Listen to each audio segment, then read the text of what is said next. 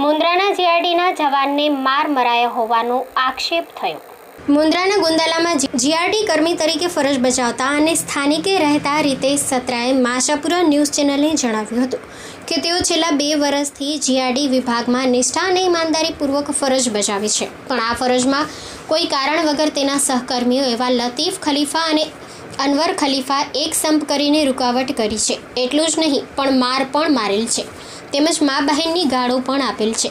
આ બધી બાબત સ્થાનિકે લાગેલા સીસીટીવી કેમેરામાં પણ રેકોર્ડ થયેલ છે. તેમજ આ બાબતે રીતેશભાઈએ વિવિધ ખાતાઓમાં પણ આ શખ્સો વિરુદ્ધ લેખિત તેમજ મૌખિક ફરિયાદો પણ કરેલ છે.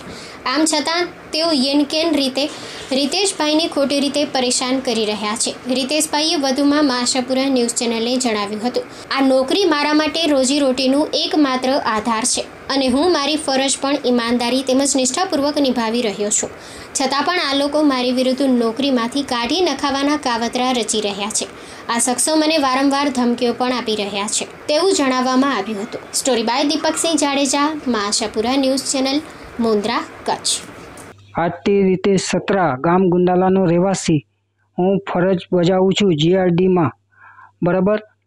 મને લતીફ અને અનવર ખલીફા મને ભૂંડી ગાળો બોલી અને મને માર્યો. એની રજૂઆત મેં અગાઉ પોલીસ સ્ટેશનમાં બી કરેલી હતી. એના પોલીસ સર તંત્રએ મને સપોર્ટ આપેલો પૂરો સાત સરકાર સાથે. બરાબર? એની રજૂઆત ઉપર સુધી જાય એવી મારી માંગ છે. ભારત સરકાર સાથે મારી માંગ છે અને બીજી વખત મારા સાથે એવું વર્તન ન થાય એના માટે મેં મીડિયા થ્રુ ગયો છું. બરાબર? એમાં હું બે બે હજાર વીસથી હું નોકરી કરું છું. બે વર્ષ થઈ ગયા.